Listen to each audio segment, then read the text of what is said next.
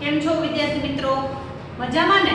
ચાલો આજે આપણે ધોરણ 6 સામાજિક વિજ્ઞાન એમાં પાઠ નંબર 10 અ, પૃથ્વીના આવરણો. બરાબર છે? એમાં આપણે જે સ્વાધ્યાયની પ્રશ્નોત્તરી છે એના વિશે આપણે ચર્ચા કરીએ. તો એમાં પ્રશ્ન નંબર 1 છે એક બે વાક્યમાં ઉત્તર આપો. જોઈએ આપણે એમાં પહેલો પ્રશ્ન છે કે પૃથ્વી પરના મુખ્ય આવરણો કયા છે? આપણને ખબર જ છે કે પૃથ્વી પરના મુખ્ય ચાર આવરણો છે. મૃદાવરણ જલાવરણ, વાતાવરણ અને જીવાવરણ. બરાબર છે? મૃદાવરણ જલાવરણ, વાતાવરણ અને જીવાવરણ ત્રણે ત્રણ પૃથ્વી પરના મુખ્ય આવરણો છે. ત્યાર પછી પ્રશ્ન નંબર બે મૃદાવરણ એટલે શું? તો કે કે મૃદા એટલે માટી. મૃદા એટલે શું થાય? માટી થાય પૃથ્વી ઉપરનો પોપડો. સામાન્ય રીતે માટી અને ઘન પદાર્થોનો બનેલો છે. તેથી પૃથ્વીની સપાટી પરના ભૂમિભાગોને મૃદાવરણ કહે પ્રશ્ન નંબર 3 જલાવરણ શેનું બનેલું છે? તો કે કે પૃથ્વીની સપાટી પરના પાણીથી ઘેરાયેલા વિસ્તારને જલાવરણ કહે છે. તેમાં મહાસાગરો, સમુદ્રો, ઉપસાગરો, સરોવરો, તળાવો, નદીઓ વગેરેનો સમાવેશ થાય છે. ત્યાર પછી પ્રશ્ન નંબર 4 વાતાવરણના મુખ્ય વાયુઓ કયા કયા છે? તો કે વાતાવરણમાં મુખ્ય કયા વાયુઓ ભાગ ભજવે છે? તો કે nitrogen, oxygen, ozone, carbon dioxide વગેરે વાતાવરણના મુખ્ય વાયુઓ છે. પ્રશ્ન નંબર 5 છે, સજીવ સૃષ્ટિમાં કોનો સમાવેશ થાય છે? તો કે સજીવ સૃષ્ટિમાં મનુષ્યો, વનસ્પતિ અને પ્રાણીઓનો સમાવેશ થાય છે. ચલો, ત્યાર પછી ખાલી જગ્યા છે. જોઈએ આપણે ત્રણ જ ખાલી જગ્યા છે. એમાં પહેલી ખાલી જગ્યા છે કે પર્વતો, ઉચ્ચ પ્રદેશો, મેદાનો વગેરે ખાલી જગ્યા વરણમાં આવેલ છે. ક્યાં વરણમાં આવેલું છે? તો કે કે મૃદાવરણ. મૃદાવરણ એટલે કે જમીન ઉપર આપણને પર્વતો, ઉચ્ચ પ્રદેશો અને મેદાનો જોવા મળે છે.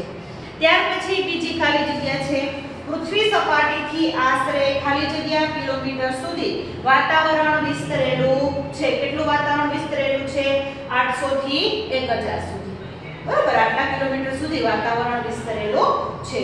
ત્યાર પછી ત્રીજો જે પ્રશ્ન, ત્રીજી ખાલી જગ્યા છે, વાતાવરણમાં નાઇટ્રોજન વાયુનું પ્રમાણ કેટલું છે? કેટલા ટકા છે? તો કે 78.3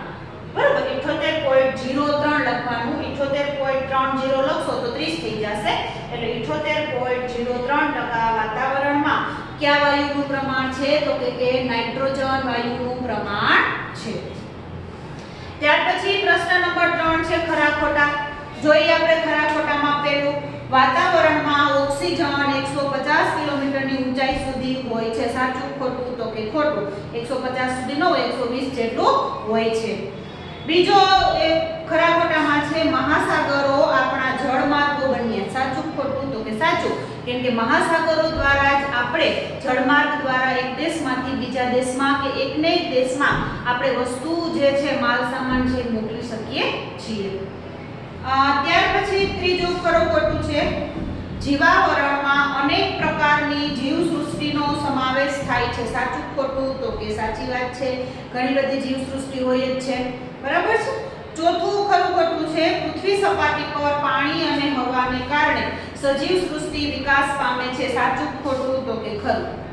ત્યાર પછી પાંચમું, ઓઝોન વાયુ સૂર્યના પારજાંબલી કિરણોથી પૃથ્વી પરના સજીવોને બચાવે છે. સાચું ખોટું તો કે આવશે? ખરું. ચલો, ત્યાર પછી આપણે ટૂંક જોઈ. એમાં પહેલી જે ટૂંક છે, વાતાવરણ. વાતાવરણ વિશે આપણે જોઈ. તો કે કે પૃથ્વીની ચારે બાજુ વીંટળાઈને આવેલા લગભગ 800 થી 1000 કિલોમીટરની ઊંચાઈ સુધી વિસ્તરેલા વિવિધ વાયુઓના આવરણને વાતાવરણ કહે છે.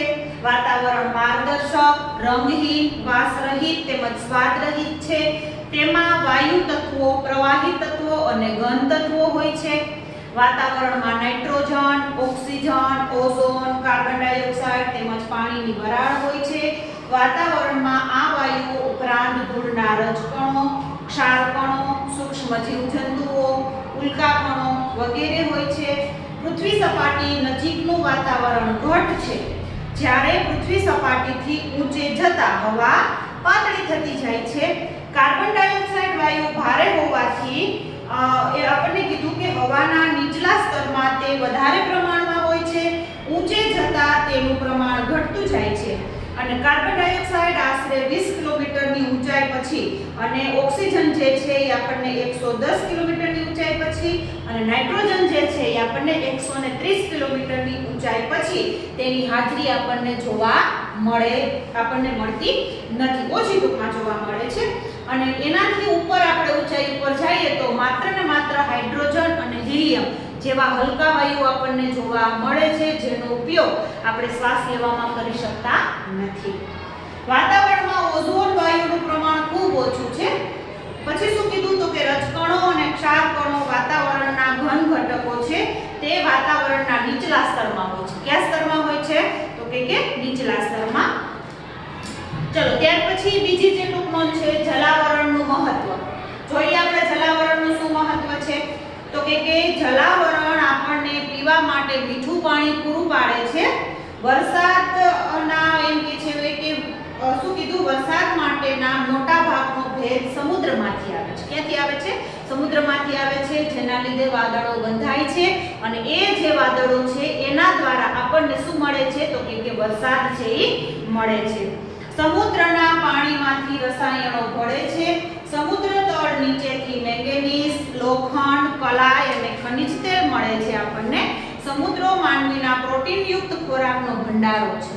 આપણને પ્રોટીન શેમાંથી મળે? આપણને ખબર જ છે, માછલીમાંથી. જે માછલી ક્યાંથી મળે તો કે સમુદ્રમાંથી. સમુદ્રમાંથી માનવીને ખોરાક માટે માછલા તેમજ અન્ય જીવો મળે છે. સમુદ્રના પાણીમાંથી મીઠું પકવવામાં આવે છે. સમુદ્રના મોજા, પ્રવાહો અને ભરતીથી વિદ્યુત ઉત્પન્ન કરવામાં પણ આવે છે. ત્યાર પછી શું કીધું તો કે મહાસાગરોનો જળમાર્ગ તરીકે પણ ઉપયોગ કરવામાં આવે છે. એટલે જે જલાવરણ છે આપણને ખૂબ જ ઉપયોગી છે. ચારે ચાર આવરણો આપણને ઉપયોગી છે. એક આવરણ ન હોય તો હાલે નહીં. ત્યાર પછી ત્રીજી જે ટૂંકનો છે, મૃદાવરણનું મહત્વ. જોઈએ આપણે મૃદાવરણનું શું મહત્વ છે? તો કે મૃદાવરણ માનવીનું નિવાસ સ્થાન છે. તે એમ કે છે માનવને રહેઠાણ માટે જગ્યા અને ઘર બાંધવા માટેની સામગ્રી આપે છે. પછી શું કીધું? તો કે માનવને મૃદાવરણના જળ સ્ત્રોતોમાંથી પાણી મળે છે. માનવી એમ કે છે કે મૃદાવરણ પર ખેતી કરી વિવિધ પાક ઉગાડે છે, તેમજ ઉદ્યોગ ધંધા અને અન્ય આર્થિક પ્રવૃત્તિઓ કરે છે. ઉદાહરણ જમીન ઉપર જ આપણે ઉદ્યોગ ધંધા સ્થાપી શકીએ છીએ. મૃદાવરણ વનસ્પતિ અને પ્રાણીઓનું નિવાસ સ્થાન છે. મૃદાવરણ પરના જંગલો, ઘાસના મેદાનો, પ્રાણીઓ વગેરે વિવિધ પ્રકારે ઉપયોગી છે. મૃદાવરણમાંથી મળતા ખનિજોનો ઉદ્યોગોમાં અને બીજી રીતે ઉપયોગ થાય છે. માનવીનું અસ્તિત્વ અને માનવ સંસ્કૃતિનો વિકાસ મૃદાવરણને આભારી છે. એટલે મૃદાવરણ આપણને ખૂબ જ રીતના ઉપયોગી છે. તો વિદ્યાર્થી મિત્રો, આપણું સ્વાધ્યાય છે અહીંયા. પૂરું થાય છે. હું આશા રાખું છું કે બધા પ્રશ્નો વ્યવસ્થિત રીતના તમને સમજાઈ ગયા હશે. ચલો, આવજો, જય